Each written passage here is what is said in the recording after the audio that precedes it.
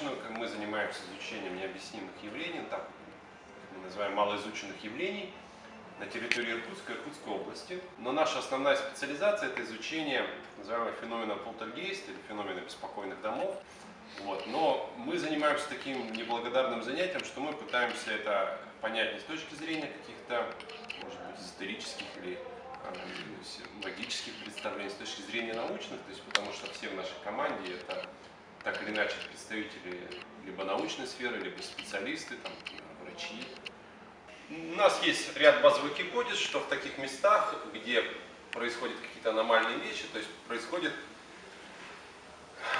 какие-то аномалии поле, электромагнитном поле или еще других, других параметров каких-то характеристик. И вот мы измеряем приборами, такие разные приборы, они совершенно не специализированы, ну часть из них. Есть более специализированный прибор, это генератор случайных чисел.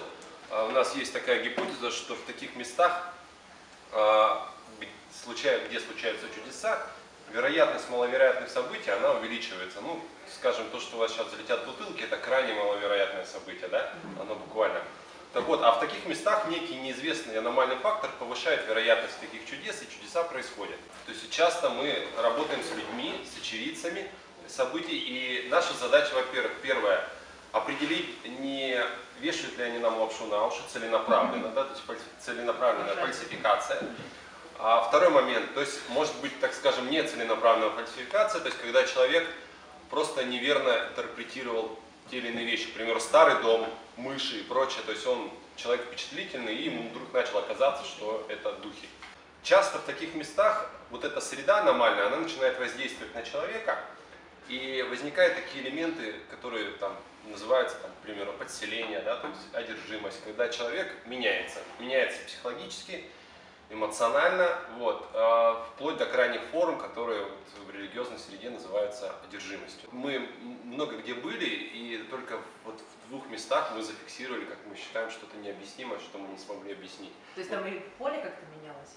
Там не просто поле менялось, мы на видео зафиксировали, то есть мы там, в общем, в лесу в этом, рядом с кладбищем, мы ночевали, там есть специальный домик такой, сторожа, и он жаловался, там, точнее, много людей жаловалось, что, что там происходят какие-то темные вещи, какие-то темные сущности приходят из леса, и в доме начинают происходить странности и так далее. Вот у нас мы оставили камеры по периметру этого дома, вот, и, и вот у нас был штатив, но кстати, был это такой очень хороший штатив, у нас был такой прям дешевый штатив алюминиевый, который там от любого дуновения мог упасть, и в какой-то момент в него что-то вселилось, короче, то есть он начал бегать.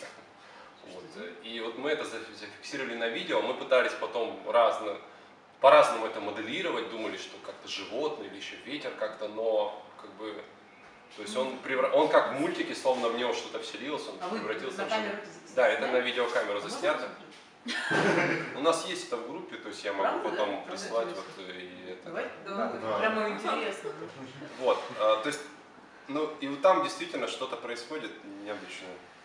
Второе место, это, наверное, можно выделить, это, э, это дом Фейнберга. Да. Дом это Фейнберга. Это где? Это бывшая библиотека Молчанова-Сибирская, это рядом с цирком. А, там такой старинный дом, там у него еще есть такая звезда Давида на нем. А там сейчас музыкальное училище, что-то музыкальное. Э, раньше была библиотека имени Молчанова, мы именно там исследовали, нас приглашали работники, потому что они стали видеть часто призраков. Как и а, там было так, два персонажа, которых постоянно видели, а, причем разные люди. Тех да, же. это был мужчина такой, одетый в стиле 19 века, в таком колпаке, и женщина в таком кремовом платье. Вот, они периодически появлялись, там даже охранники увольнялись, потому что несколько раз охранники принимали их за живых людей, ну, условно, да, они начали за ними гнаться, да, гнаться, и те исчезали просто, как бы, ну, у них на глазах, и они не, даже не могли проработать, как бы, ночь, то есть они на утро все просто увольнялись.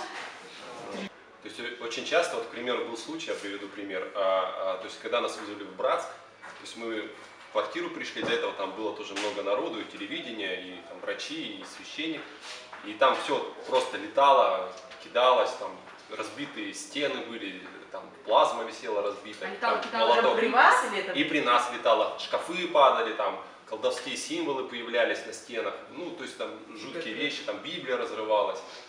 Вот, а, то есть, то есть какое-то время, там полдня, вот при нас это происходило, там компьютер наш летал, короче, слетал, камера была разбита.